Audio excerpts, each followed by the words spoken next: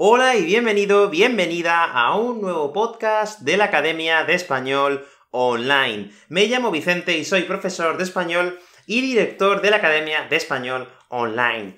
Y en el podcast de hoy vamos a hablar sobre el bochorno que hace en mi ciudad. El bochorno que hace en mi ciudad y lo que pega hacer con este bochorno. Y tú ahora mismo estás diciendo, Vicente, ¿de qué estás hablando? ¿Lo que pega?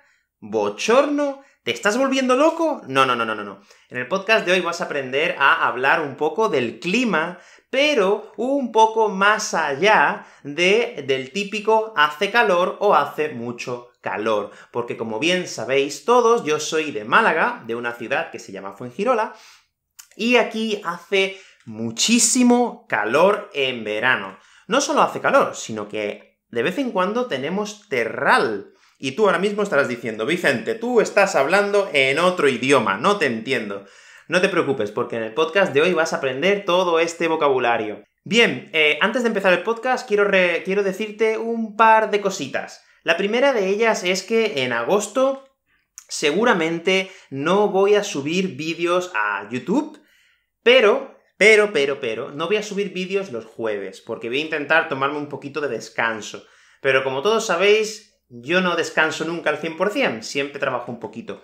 Voy a seguir haciendo estos podcasts y también voy a seguir haciendo, por supuesto, los cursos de la Academia de Español Online. La Academia de Español va a seguir funcionando como de costumbre.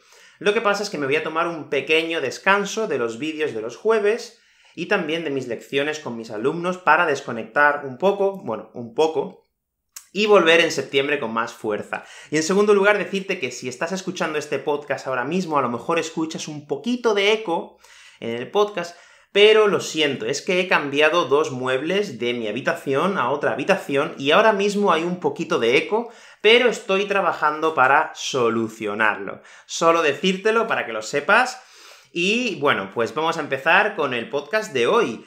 Lo que pega con este bochorno. ¿Estáis preparados y preparadas? ¡Adelante!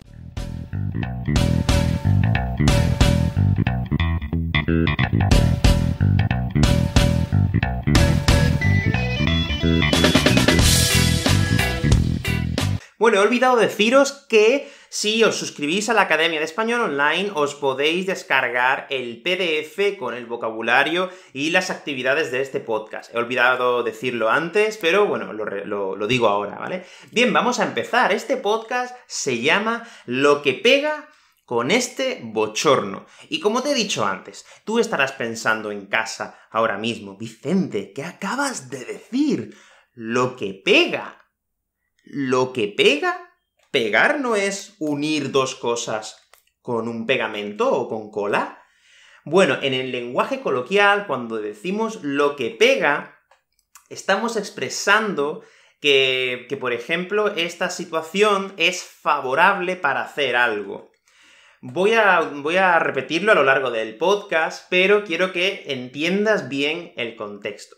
Bien, yo he dicho lo que pega con este bochorno. En primer lugar, el, el bochorno es un calor muy intenso, muy intenso, insoportable, que te hace sudar constantemente. Eso es el bochorno. Y en mi ciudad, en Fuengirola, cuando hace mucho calor, pues también hace bochorno. Es este calor que tú te das una ducha, sales a la calle y ya estás sudando de nuevo, porque hace bochorno. Y muchas veces este bochorno es provocado por algo que se llama el terral. El terral básicamente es un aire caliente que viene del sur, normalmente viene del sur, del mar, eh, es un aire caliente, muy caliente, que provoca este calor, eh, este bochorno. Entonces, el terral es, es este aire, es una corriente de aire caliente y bueno, básicamente lo que hace el terral es aumenta la temperatura y disminuye la humedad. Por lo tanto, el calor es insufrible. el único lugar donde puedes estar es en la playa o en tu casa si tienes aire acondicionado, porque si hay terral, Queridos amigos, lo mejor que podéis hacer en Málaga es ir a la playa o estar en algún sitio con aire acondicionado, porque el calor es insoportable.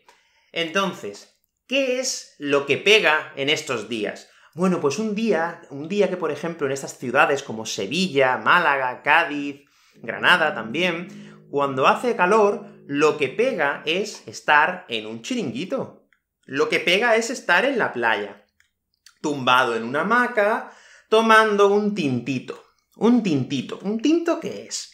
Vicente, cuando decimos un tintito, lo que queremos decir es un tinto de verano, que es una bebida alcohólica que se hace mezclando una fanta de limón, o una limonada en general, con vino tinto y mucho hielo.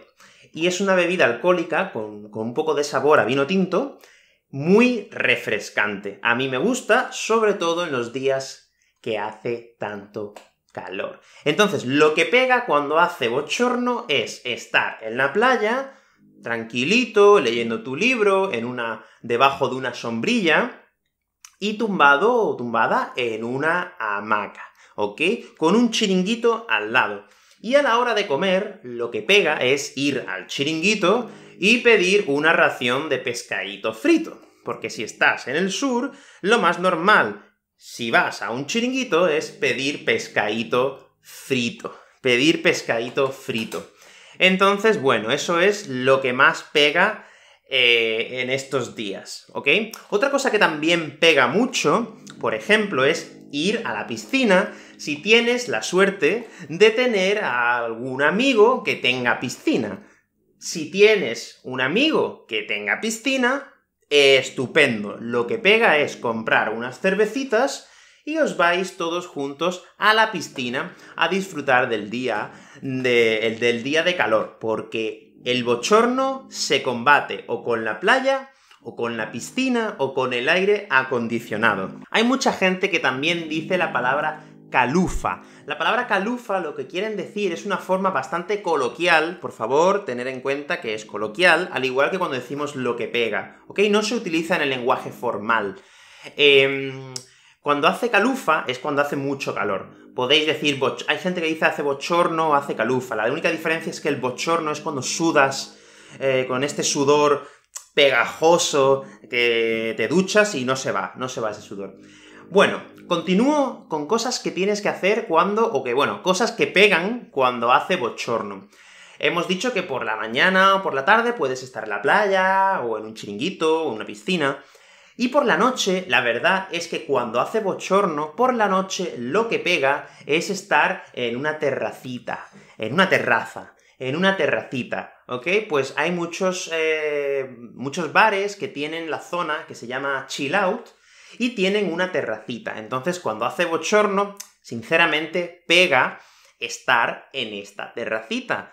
Y yo digo que pega, ¿por qué? Bueno, porque hace calor y en estas terracitas pues está muy bien, puedes pedir un refresco, un zumo natural, etcétera, etcétera, y pues hace un poco de fresquito por la noche, entonces puedes combatir este bochorno insoportable este bochorno insoportable que tenemos en el sur en los meses de julio y agosto.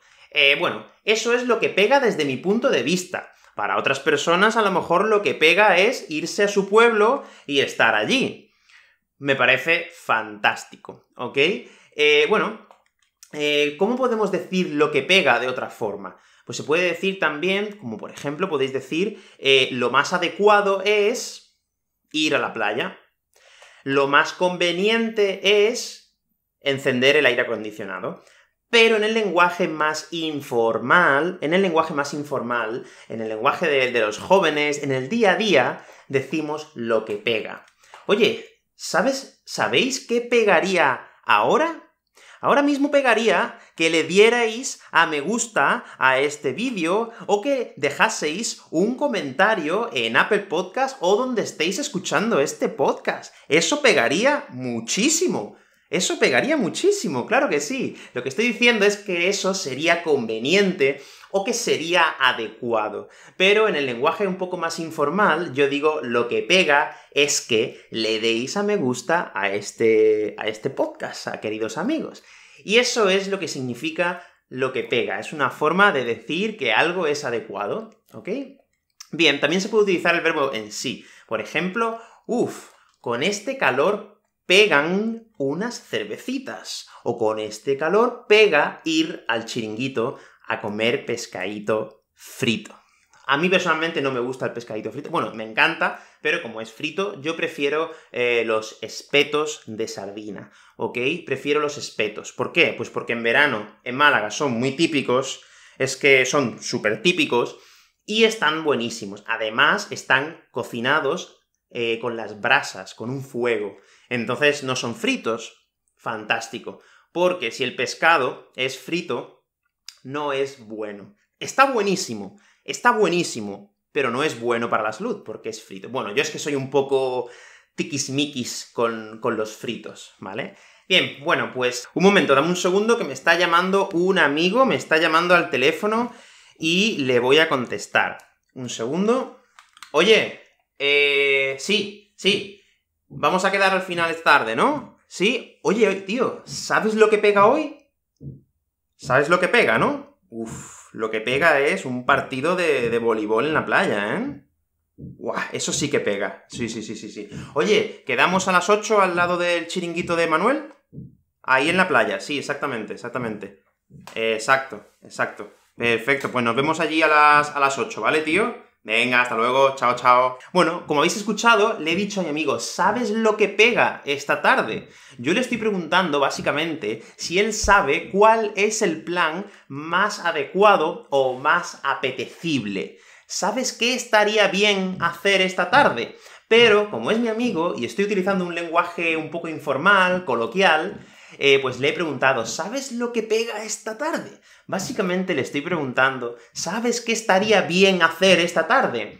Pero lo he se lo he preguntado utilizando una jerga coloquial, una jerga que usamos los jóvenes. Bueno, quiero que tengas en mente que esto que te estoy enseñando es coloquial, por favor, porque ah, tenemos que tener siempre en cuenta el contexto.